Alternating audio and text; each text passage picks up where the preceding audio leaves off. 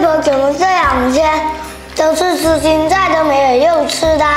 你上次不是说不想吃肉了吗？外婆都是我的错，我把钱全部买青菜了。你没有错，家里还有。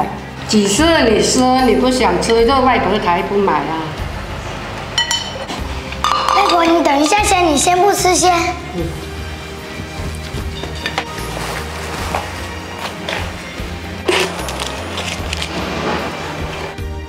外婆借我手机先，我想打个电话给舅舅。舅舅，你给我买衣服的钱我准备花了不？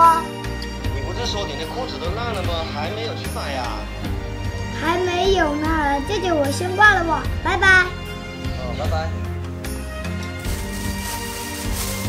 外婆，我先出去一下先，我先不吃先。宝贝，你去哪里？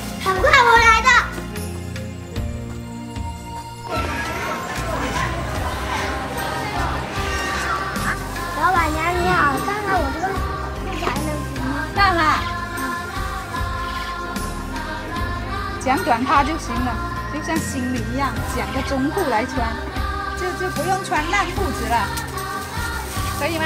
可以。嗯，可以就剪短了哦，就从烂的那个地方剪掉它呀。老板娘，我想了一下，还是不剪中裤了，一下就得了。马上天气冷了。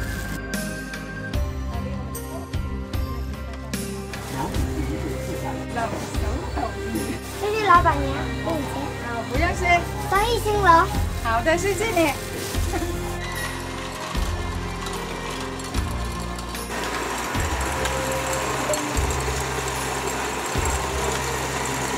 那这元虾多少钱一斤？呃，三十八。那我要三十块钱的。好的。老板，好的，谢谢。生意兴隆。好的。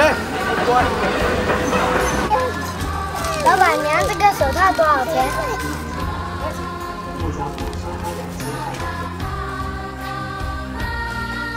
外婆，我回来了。好啊。这下我们有肉吃了，你等我一下。